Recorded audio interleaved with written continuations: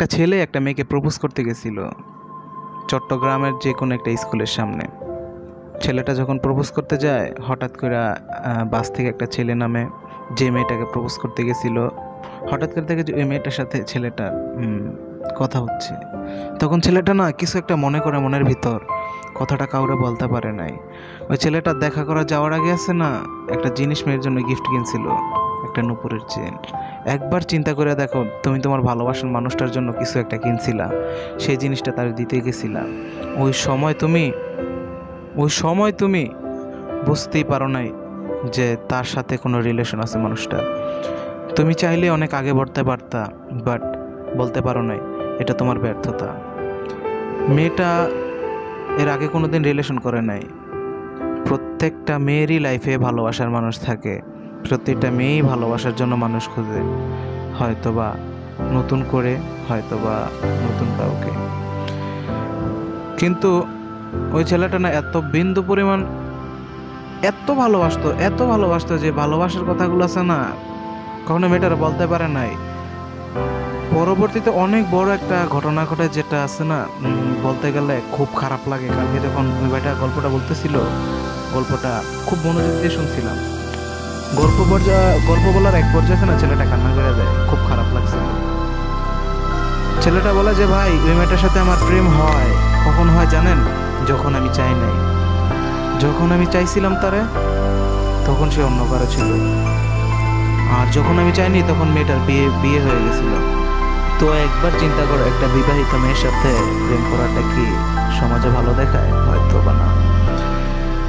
মেয়েটা তখন বুঝতে পারছে যে আরিফ নামে ছেলেটা কতটা ভালোবাসতো। এত এত পরিমাণ ভালোবাসা দিত, এত পরিমাণ ভালোবাসতো যে আজ থেকে আরও আট বছর আগে যদি এক হাজার টাকার চিন্তা করি, তাহলে আমাদের কাছে অনেক টাকা। ওই মেয়েটার জন্য একটা চেন বানায়, রূপার একটা চেন মেয়েটার দিব। তখন মেয়েটা জানতো না যে এই ছেলেটা ভালোবাসে। ছেলেটা এই রূপার চেনটা দেওয়ার জন্য মেয়েটার স্কুলে যায়। স্কুলের সামনে যখন যায়, তখন ওই স্কুলের সামনে একটা বাস স্ট্যান্ড আছে, বাস স্ট্যান্ডের এখানে মেয়েটা স্কুল থেকে বাইরে হওয়ার পর এখানে দাঁড়াইছে। ক্লাস নাইনে বা টেনে পরে একটা মেয়ের কাছে মোবাইল। তখনকার তখনকার সময় অনেকটাই অনেকটাই গুরুত্বপূর্ণ বিষয় যে এই এই বয়সে আমরা মোবাইল দেখিও নাই। তখন ওই মেয়েটার কাছে একটা মোবাইল দেখতে পায় আরিফ। তো আরিফ ভাবলো যে হয়তোবা বাসার মোবাইল, তার জন্য সে মোবাইলটা আনছে। কিন্তু না মেয়েটা মোবাইলটা বার করে একটা ফোন দিল ফোন দেওয়ার পর বাস থেকে একটা ছেলে নামলো। ওই ছেলের কারণে মোবাইল ছিল। তখন সে বুঝতে পারে যে তাদের ভিতরে কিছু একটা আছে। তাদের ভিতরে কিছু একটা বুঝতে উম, সে দাঁড়ায় দাঁড়ায় কিছুক্ষণ এটা উপলব্ধি করে যে জিনিসটা আজকে আমাদের দেখতে হবে। তো জিনিসটা দেখার জন্য ছেলেটা আছে না অনেকক্ষণ ওই যে একটা দোকানের এখানে দোকানের পিছনে দাঁড়ায় ছিল। ওই মেয়েটার কিছু একটা নপুর দেওয়ার জন্য ছেলেটা এখানে দাঁড়ায় ছিল।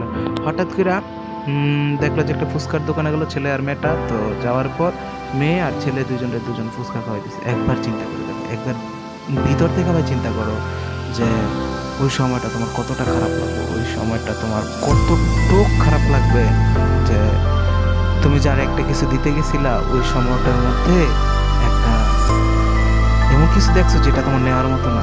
তখন ছেলেটা আছে না, কান্না করে দেখো কথাটা বলার সময় আছে না, কান্না করে দিছিল। আমার কাছে অনেক খারাপ লাগছে ভাই, অনেক খারাপ লাগছে। মানুষ একটা গিফট দিতে গেছে, ওই সময় ওই সময় যাওয়ার সময় দেখে যে এই বিষয়টা। তো নিজের সামনে, চোখের সামনে যে এই সব বিষয় দেখলে আছে না, নিজের। দিলটা আছে না ফাইটা যায় ভাই। আমার আমার জায়গায় যদি আমি যদি হইতাম না ভাই, সত্যি কথা সিনেমার মতো যে কোনো একটা অঘটন ঘটাইতাম। হয়তো বা সুইসাইড করতাম হয়তো বা যে কোনো শারীরিকভাবে একটা দুর্ঘটনা ঘটাইতাম। বাট কিন্তু এই জিনিসটা আমি করে নাই বা ওই ছেলেটা করে নাই। ছেলেটা আছে না, মনে অনেক কষ্ট নিয়ে জায়গা থেকে চলে আসে। চলে আসার সময় মেয়েটার জন্য যে একটা রূপার চেন কিনছিল বা চেন বানাইছিল, ওই চেনটা আছে না, ডাস্টবিনে ফালাই দেয়। ছেলেটা বাসায় এসে তিন দিন পর্যন্ত না খায় থাকে। একটা বারো মেয়েটা বুঝতে পারে নাই যে একটা আশা নিয়ে এই ছেলেটা আসছিল তারে কোনো কিছু দেওয়ার জন্য। হয়তো বা এটাই ছিল তার ভালোবাসা। না বলা কিছু কথা থাকে, কিছু না বলার কথা থাকে। তো গাইস আশা করি গল্পটা একটু হলেও ভালো লাগবো। যদি ভালো লাগে অবশ্যই চ্যানেলে নতুন থাকলে অবশ্যই সাবস্ক্রাইব করে দিবা। সো গাইস আগামীকাল আমরা আরও একটা নতুন গল্প নিয়ে আসব। তো এই পর্যন্তই। Bye bye